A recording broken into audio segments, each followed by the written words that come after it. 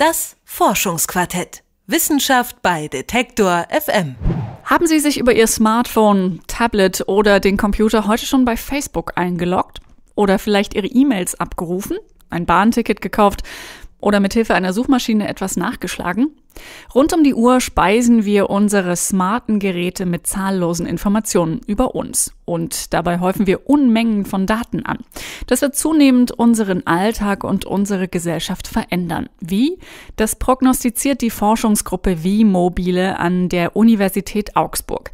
Kai Posci leitet die Forschungsgruppe seit 2001 und hat mit Juliane Neubauer über seine Forschungsergebnisse und Visionen gesprochen. Was macht die mobile Technologie mit uns und wie verändert sie unseren Alltag? Diesen Fragen möchte Wirtschaftsinformatiker Kai Pusci seit 2001 auf den Grund gehen.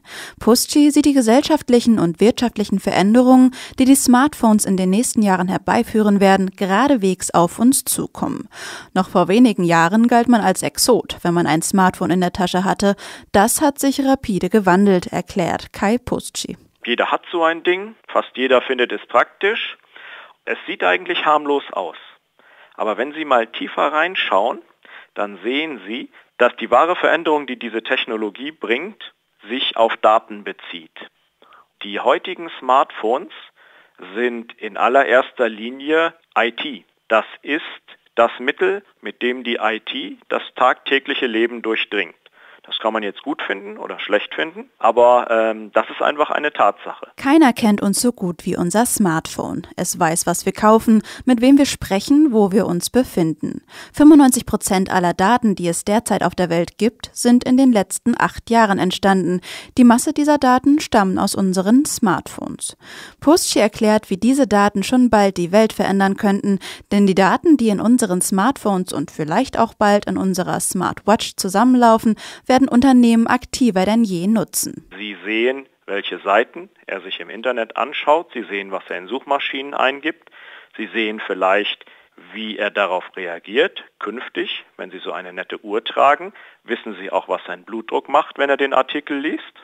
Und wenn Sie all diese Daten zusammenfügen, dann kennen Sie den Nutzer schon sehr, sehr, sehr gut. Und jetzt gibt es viele, die sagen, diese Unternehmen sind böse. Die sind aber gar nicht böse, sondern die sind wirtschaftlich organisiert. Sie wollen zu etwas, das man als Forscher universelle Empfehlungsmacht nennen könnte. So könnten Unternehmen schon bald wissen, was wir noch dringend brauchen und kaufen sollten, noch bevor wir es selbst merken. Sie wissen, wie sie uns dazu bringen, bei bestimmten Anbietern zu bestellen, wann ein guter Zeitpunkt ist, uns mit einem Angebot zu locken. Sie wissen, ob wir besonders auf bekannte Marken, Preisreduzierungen, zusätzliche Garantie reagieren. Diese Datenmenge ist sehr wertvoll, sagt Kai Pusci. Wenn Sie all das wissen über den Kunden, dann können Sie zu den Händlern gehen und fragen, was bietest du mir, wenn dieser Kunde bei dir kauft? Die Mikroökonomie erstes Semester lehrt uns, was dann passiert. Das machen Sie so lange, bis der Händler gerade kein Geld mehr verdient. Solange bietet Ihnen immer irgendein Händler noch etwas mehr für den Kunden. Und damit können sie unglaublich viel Geld verdienen. Apple, Google, Facebook, eBay, PayPal, Amazon. Sie alle versuchen die Datenhoheit über uns Nutzer zu erlangen. Um das zu schaffen, investieren sie Geld in Betriebssysteme oder zum Beispiel Smartwatches, die ihnen noch mehr über uns verraten. Wirtschaftswissenschaftler Kai Pusci spitzt seine Marktbeobachtungen zu. Daten sind das Öl des 21. Jahrhunderts. Auch wenn es beunruhigend ist, dass eine unbekannte Instanz diverse Dinge über uns weiß, kann es auch Vorteile haben, beschreibt Postchi.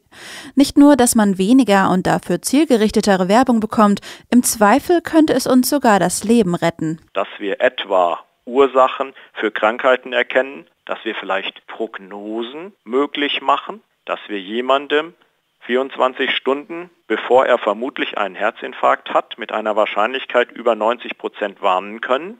Oder vielleicht warnen wir ihn nicht selbst, damit er beim Erhalt der Nachricht dann den Herzinfarkt kriegt, sondern wir warnen vielleicht seinen Arzt. Das alles könnte durch Datenzusammenführung möglich werden. Die kommerzielle Seite ist nur ein Teil davon. Noch können die Daten von den verschiedenen Anbietern nicht sinnvoll zusammengefügt werden, um die Angebote zu optimieren. Aber das sei nur eine Frage der Zeit, sagt Kai Postchi voraus. Das Forschungsquartett. Wissenschaft bei Detektor FM.